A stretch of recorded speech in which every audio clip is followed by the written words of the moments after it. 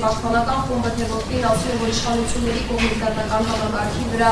ահռելի ճնշումներ են գործադրվում, որևէ նման փորձ իշխանությունների կողմից նկատել եք ինչպես կմեկնաբանեք սա ու ոնց կկատարեք այդ չափազանցացրած բառը ահռելի ես կխուսափեի այդ ահռելի բառից, սակայն գտնում եմ, որ ոչ թե ճնշում է իրականացում, այլ փորձ է իրականացում ճնշել, ընդ որում ոչ միայն իշխանության իշխանական թևի, հա, այլ Քոչարյանի երկրորդ նախագահի գործի շրջանակներում մեր հասարակությունը ինչ որ մի երկու մասի է բաժանվել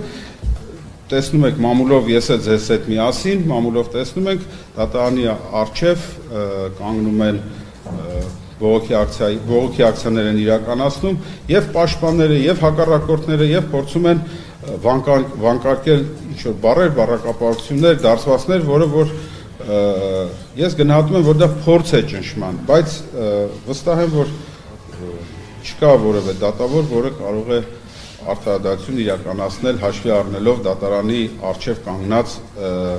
բողոքի ակցիա իրականացնող մարդկանց բառակապակցություններից շատ դեպքերում դատավորները նույնիսկ չեն լսում, քանի որ դա դրմփակ գոտում են գտնվում, դրմփակ գոտում են գտնվում, պատոհանները փակ են լինում եւ ընդհանրապես կարող է երեկոյան, նույն օրը երեկոյան մամուլից տեղեկանան ժողովրդի քանակի մասին, վանկարկումների վերաբերյալ, այսինքն դա որևէ կերպ չի կարող ազդել արտարադատական process-ի վրա։ Ճշմարիտ, ես ասեցի, ճշմարիտ